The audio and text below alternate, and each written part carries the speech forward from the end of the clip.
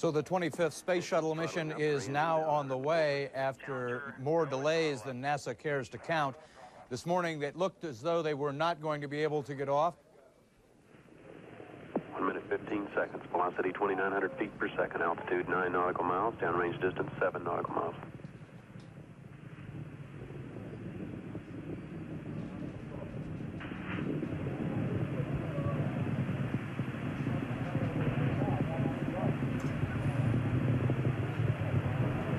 Looks like a couple of the uh, solid rocket boosters uh, blew away from the side of the shuttle in an explosion.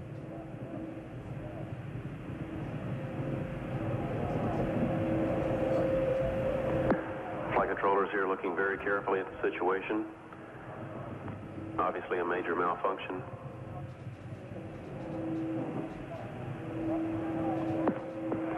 We have no downlink.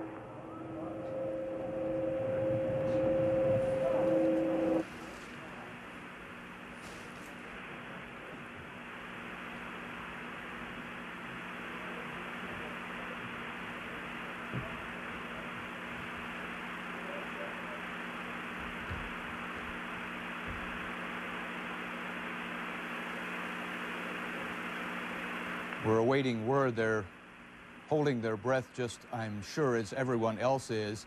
You saw it just a few moments ago, about 45 seconds after liftoff, a huge fireball in the sky. We have a report from the flight dynamics officer that the vehicle has exploded. Flight director confirms that. We are uh, looking at uh, checking with the recovery forces to see uh, what can be done at this point.